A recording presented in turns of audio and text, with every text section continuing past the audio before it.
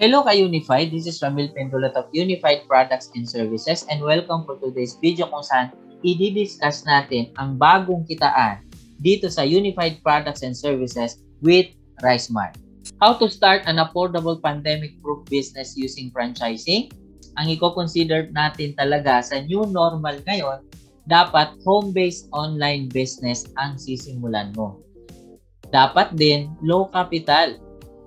Then, world-class business, well-established market, easy to set up, portable para kahit saan ka pupunta, dala-dala mo ang negosyo mo, and then combination of businesses para marami kang kitaan, guaranteed fast ROI dahil lumabas ka ng pera, so dapat sigurado ang kitaan, babalik yung perang ipinuhunan mo, then tao ang lalapit sa'yo, and hindi napapanis.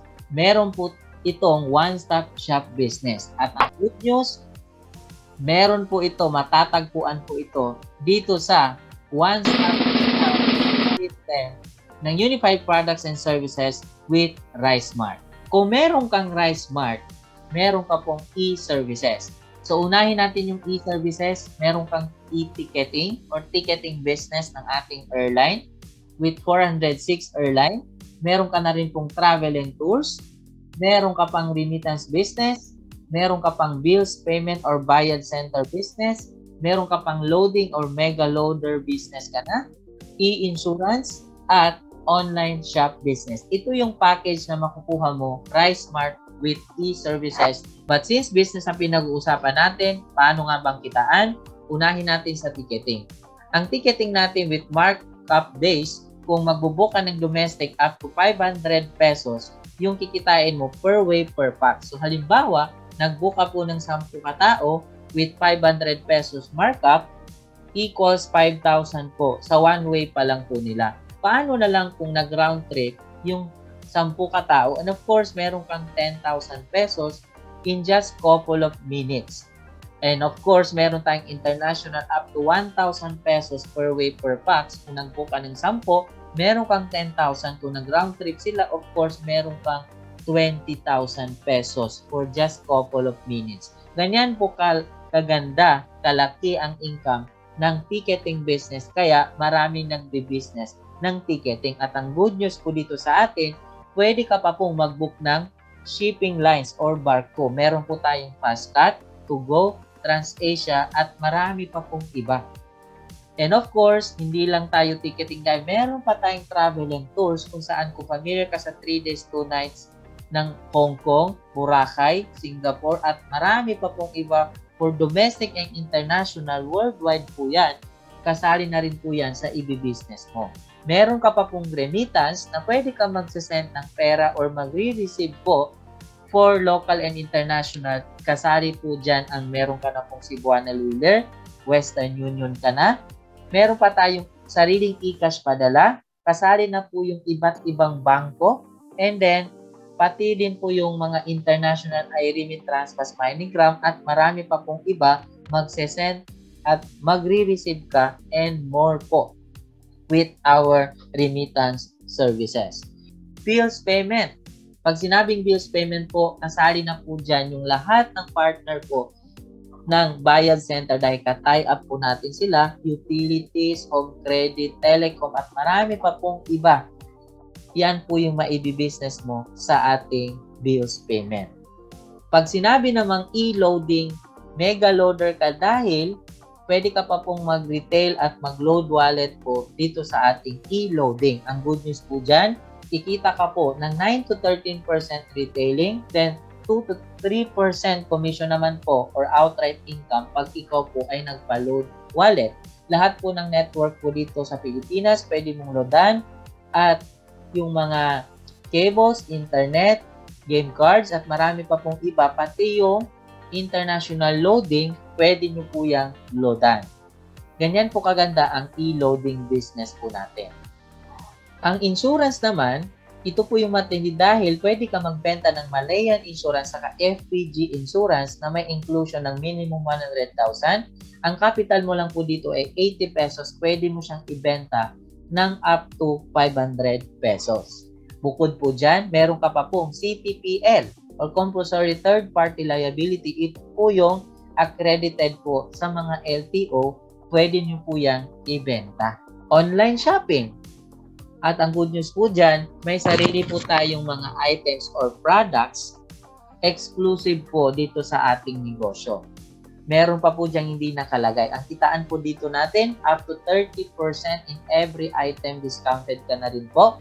Kung meron kang e-services, ito na, meron ka pang Rice Mart. Dealer ka na plus wholesaler ka pa ng bigasan. Ang Rice Mart po natin ay nagsimula noong 2021. Ang dami ng franchises na po ng Luzon, Visayas, Mindanao, pati na rin po ang abroad. Pwede po kayo magsimula po dito. We support local farmers. Sa Pilipinas pa lang, rice is life, di ba? Yan po, ang dami-dami natin i-consider bakit kailangan natin mag-rice dealer. Dahil araw-araw po talaga yan kinakain. Very in demand po sa Pilipinas pala. Ito po yung mga iba't ibang klase ng ating rice. Uh, okay, nadadagdagan pa po yan. Depende po sa ating um, system, sa ating mga partners. Paano po yung kitaan dito sa ating Rice Mart? Una po dyan is discounted na po tayo sa lahat ng klase ng rice at saka wellness products po natin. Kitaan po natin dito is from 3% up to 10% per sack. So example po, kung meron tayong 2,500 per sack, kung nakapagbenta ka ng 5 sacks per day, so ang equivalent po no is 12,500. Kung i-times natin po sa 10%, meron ka pong kitaan ng 1,250. Kung consecutive mo siya nagagawa in a month or more, potential income po natin is 37,500 more or less. Depende po sa iyong benta per month. So, ganyan po siya kaganda. Ito yung mga sample ng ating mga franchises. Meron tayo sa Quezon City, sa COA. Ito po yung itsura ng kanilang pwesto. Ayan. At marami pa pong iba na pwesto nila na already operation na. Meron tayo sa Tondo, Manila. Then, meron pa tayong dito sa Bohol. At kung saan-saan pa sa Luzon, Visayas, Mindanao na parami ng parami po yung franchises po natin. And meron din po tayong newly, newly open sa Bulacan, Cainta, Pasay at marami pa pong iba monthly na nag-open. Then soon po open din po sa iba't ibang lugar. Pero dito, uh, ang Davao po is already operational and uh, ano na po yan, uh, open na open na po yan. Then sa iba't ibang lugar po sa inyo, pwedeng pwede na rin po kayo mag, mag-start ng ganitong negosyo. Paano at magkano ang starting dito sa ating business? Tayo tinatawag na bigasan with payment center package. So ito po ay nagkakahalaga ng 134,999 pesos. Meron ka na pong fully package. Ang inclusion po nito, meron tayong 20 sacks of rice, 7 rice scoopers, weighing scale, 7 slot dispenser. Ito po yung itsura niya. Meron ka pa pong one-stop shop e-services. And then, grand opening support ka pa, system training, two-stop uniforms, franchise operations manual, banners and tarpaulins, after-sales support, products, info boards, and a lot more. And of course, free of 75 worth of wellness products po. Ito po yung makukuha mo in 134,999 pesos lamang po. Iyan na po lahat yung makukuha mo. Paano naman kung gusto mo magsimula ng mas konting puhunan? So, don't worry dahil meron po tayong mas maliit dyan. Ang tawag po ay Global Rice Mart. So, ito po ay open open to all or tinatawag din po ito na starter pack po ng ating Rice Mart. Na po dyan, discounted ka na rin po sa lahat ng rice or pati na rin po sa wellness products. Then meron ka pa pong GoCab operation at kikita ka po doon ng kanyang passive income pati na rin po sa iba't ibang services at wellness products ng ating negosyo. Magkano nga ba itong starter pack natin? sa 18,998, magkakasimula ka na ng Rice Mart Plus e-services. Meron kang 3 sacks of rice, meron ka pang worth of 10,000 products, libre na po yan. And then of course, yung system or services. One-stop shop business ka na sa 18,998. Makukuha nyo po yan lahat. So, meron pa bang mas mura dito sa 18,998? Meron pa po. Meron tayo tinatawag na home base or dealership account. 16,998 lang po. Meron ka na pong one-stop shop system or services. Meron ka pa pong previous worth 13 to 17,000. Meron ka pa pong 110 Malayan Insurance annually. Meron ka pa pong 24-7 technical support. Meron ka pa pong marketing material support. Meron ka pa pong 30% discounted ka na po in all tangible products. Sa 16,998 lang, meron ka na ring one-stop shop business dito sa ating negosyo. Ngayon, ano pa ba yung ibang kitaan? Ano ba maging franchise consultant? So the moment po na franchise ka na dito sa ating negosyo, both RiceMart and e-services, magkakaroon ka po ng finder's fee kung ipa-franchise mo din ang negosyo mo. Paano? Kung makakapag-franchise ka ng ating payment center with bigasan, meron kang finder's fee na 5,000 pesos. Pag nakapag-franchise ka ng ating starter package, meron kang 1,000 pesos. Pag nakapag-franchise ka ng ating home-based package, meron kang 1,000 pesos.